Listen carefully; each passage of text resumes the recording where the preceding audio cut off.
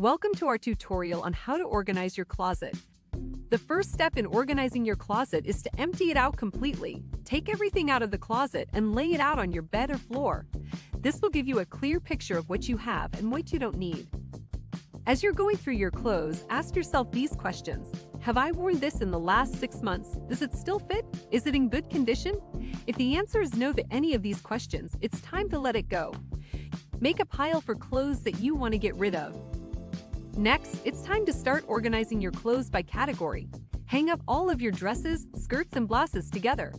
Fold and stack your sweaters, t-shirts, and pants. And put your shoes and accessories in their designated areas. Use hangers of the same size and color to keep them consistent and visually pleasing. Don't forget to organize your closet by color too. And that's it. A little bit of time and effort goes a long way in making your closet a functional and organized space.